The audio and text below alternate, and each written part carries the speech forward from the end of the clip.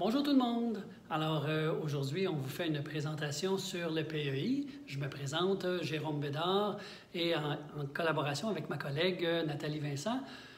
Et avec la COVID, on a décidé de bâtir une vidéo pour vous présenter le PEI au lieu de faire des tournées d'école.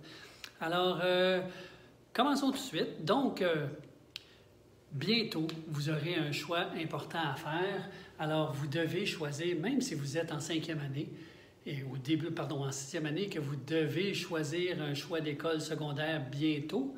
Euh, c'est un choix quand même qui est important à faire. Vous avez plusieurs choix qui s'offrent à vous. Évidemment, vous avez votre école de quartier. Et en passant, euh, je ferai jamais, euh, je dirai jamais c'est une bonne ou une mauvaise école, ce sont tous des bons choix. OK? Alors, euh, vous avez votre école de quartier. Évidemment, c'est soit euh, la polyvalente Marcel Landry ou l'école Boutier si vous êtes du côté de Saint-Jean.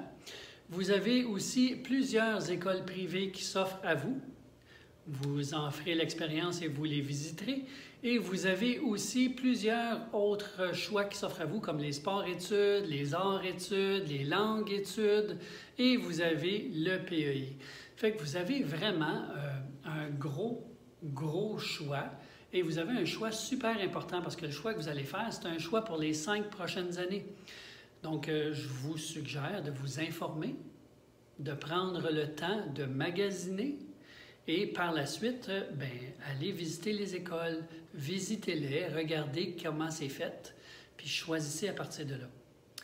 Alors, euh, parlons PEI. Donc, euh, le PEI, c'est quoi? Bien, le PEI, c'est, ça le dit, c'est Programme d'études internationales ou intermédiaires. International ou intermédiaire, on va dire international parce qu'il y en a partout dans le monde. Euh, il y en a vraiment dans tous les continents. Donc, euh, euh, nous, au Québec, on a plus que 150 écoles qui ont du PEI. Donc, c'est quand même énorme. Quelle est la mission du PEI? Alors, ben, la mission du PEI, c'est quoi son but? C'est contribuer à bâtir un monde meilleur, plus paisible, dans le respect des autres, en développant une curiosité intellectuelle et évidemment en développant tes connaissances. Pourquoi est-ce qu'on a fait le PEI dans le monde? Alors, on a fait le PEI dans le monde, pourquoi? Mais pour essayer d'avoir un monde plus en paix. En fait, plusieurs chercheurs se sont posés souvent la question pourquoi il y a tant de guerres dans le monde? Et euh, on en est venu à la conclusion, le PEI et l'IB, en est venu à la conclusion que mais si les enfants apprennent que, bon, il y a diverses cultures dans le monde qui ce sont tous des bonnes personnes, mais peut-être qu'un jour, en apprenant à vivre avec tout le monde, mais qu'on pourrait créer une paix dans le monde. Et c'est un peu le principe de base du PEI.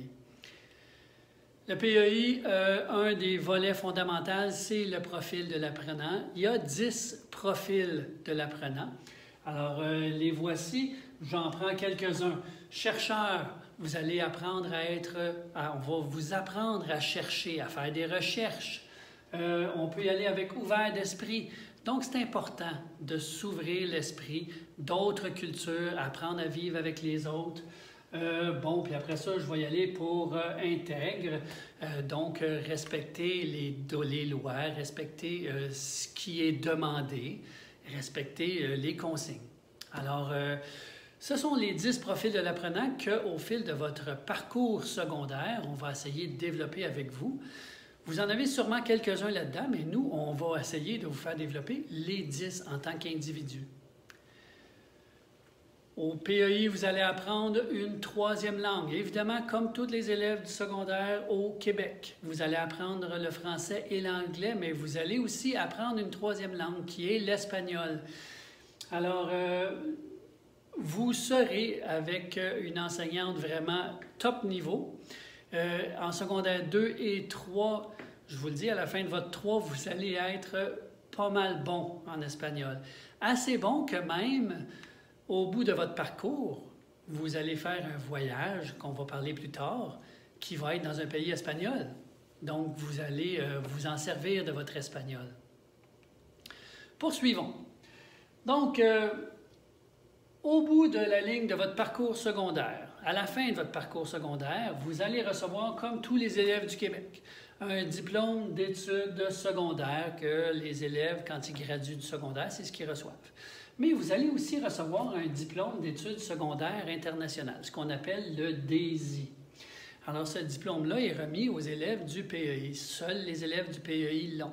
Et par la suite, je sais que vous êtes juste en sixième année, mais par la suite, si vous décidez de poursuivre votre parcours PEI, vous pourrez poursuivre au cégep aussi et compléter votre formation complète du parcours international et avoir la diplomation. Et par la suite, bien, ce diplôme-là, il est reconnu partout dans le monde, pas juste au Québec. Là. Je vous ai montré la diapo précédente. Ce diplôme-là, il est reconnu partout à travers la planète. Poursuivons. Alors, euh, le bénévolat. Euh, oui, c'est vrai, vous avez sûrement entendu parler qu'au PEI, il y a du bénévolat à faire. C'est vrai. Le PEI vous demande de faire du bénévolat.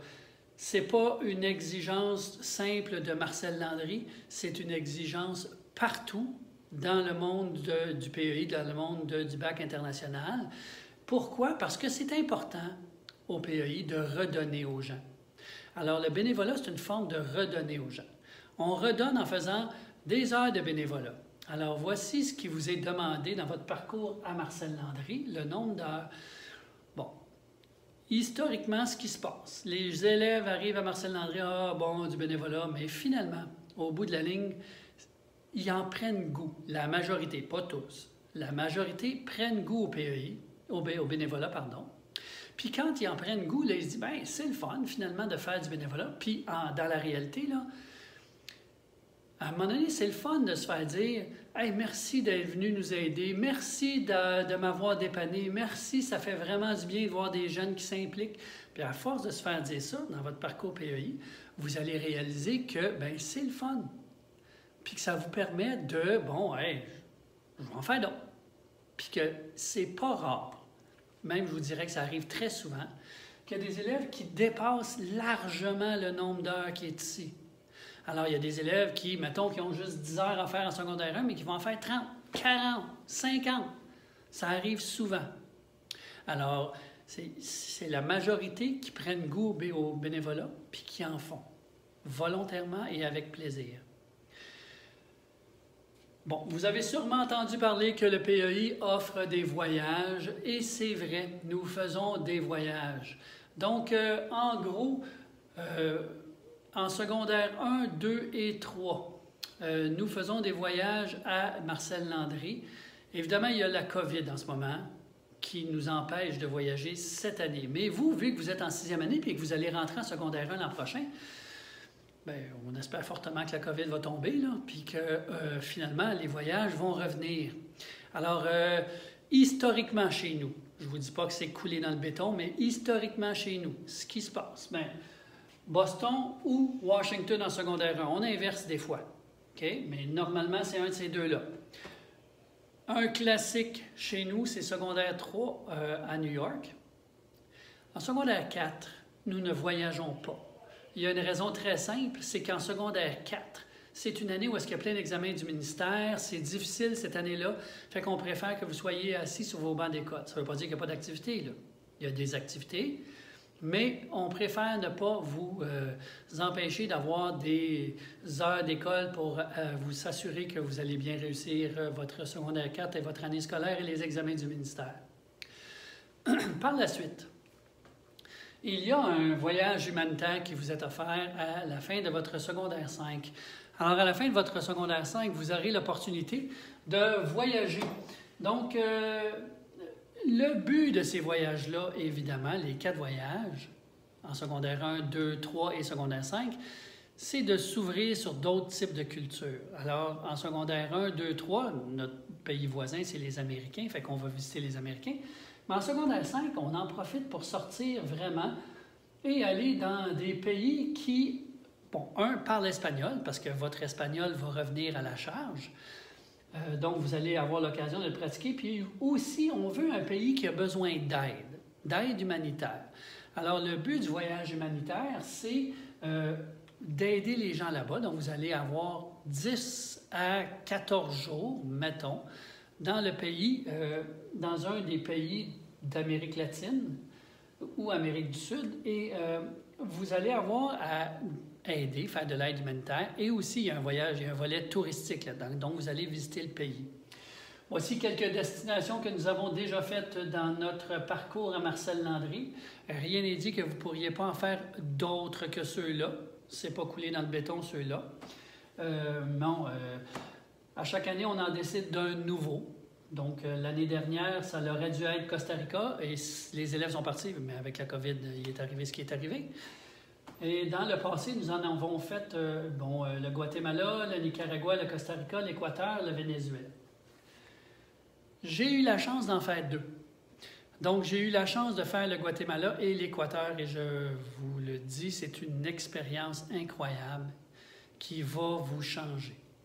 Donc, euh, je vous présente quel... J'ai choisi le Guatemala, que j'ai fait en 2015. Je vous présente quelques photos du Guatemala. Donc, comme je vous disais, il y a un volet humanitaire. Vous allez rencontrer des gens incroyables, des enfants, des gens de la place. Vous allez visiter l'endroit aussi. Euh, nous, dans cette année-là, notre volet humanitaire, c'était qu'on on repeinture une école, entre autres. Donc, on avait fait ça. Euh, et on avait rencontré les élèves de cette école-là, euh, à un moment donné, un après-midi. On avait aussi travaillé dans une plantation de café. Donc, les élèves se sont vraiment mis à la tâche et on a vraiment travaillé à planter dans la plantation de café. Évidemment, il y a un volet touristique. Donc, nous avons visité le, Guatemala, donc euh, plusieurs petites villes, euh, des fêtes, et ainsi de suite. Nous avons participé aux activités aussi de l'endroit. Euh, nous avons rencontré des gens, nous visitons des petits villages. Par exemple, la madame qui tisse, la guatémaltèque. nous, bon, là, il y a une photo d'une fille, d'une élève dans le temps qui avait une bébite étrange. Alors, évidemment, on va dans des pays où est-ce a différentes... la faune est différente, évidemment, la flore aussi. On avait joué au soccer contre euh, les élèves de l'endroit qu'on avait perdu. Mais ils sont forts, les élèves, hein, en soccer là-bas. Vous allez euh, tisser des liens d'amitié avec les gens que vous allez voyager. Alors, euh, il se forme une amitié, évidemment, une camaraderie incroyable. Voici des exemples de les gars dans ce temps-là, dans ce voyage-ci. Et par la suite, parce qu'on ne fait pas juste des voyages, il y a plusieurs sorties culturelles aussi au PEI. Alors, euh, on essaie de vous faire visiter ou voir d'autres choses que simplement un local de classe. Donc, il y a des journées multiculturelles, il y a des sorties euh, en ville, à Montréal. On fait des sorties éducatives. On essaie d'aller visiter des quartiers. Comme par exemple, il y a un quartier. Montréal, c'est une ville incroyable avec une diversité culturelle énorme. Donc, on en profite, on va visiter certains quartiers. Ça peut être le quartier chinois, comme ça peut être le quartier italien, il y en a plusieurs. Fait que, année après année, vous allez de secondaire 1 à 5 faire une sortie éducative. Euh, on essaie d'aller au théâtre deux fois par année. Euh, en anglais, certaines années en anglais, certaines années en français. On va au musée, salon du livre, là, il y en a tellement d'autres activités que ceux, juste ceux-là mentionnés, il y en a plein. Vous allez les vivre, comme par exemple le musée de Pointe-à-Calière en secondaire 1. Vous allez les vivre en étant euh, au PEI. C'est une, euh, c'est le fun, ça vous fait apprendre différemment que simplement dans un local de classe. Poursuivons. À la fin de votre parcours de PEI, à la fin de votre secondaire 5, il y a un événement, on va appeler ça un événement, qui vient avec un travail de longue envergure qui s'appelle le projet personnel. Alors, le projet personnel, c'est comme le couronnement, la fin, la finalité de votre passage au PEI.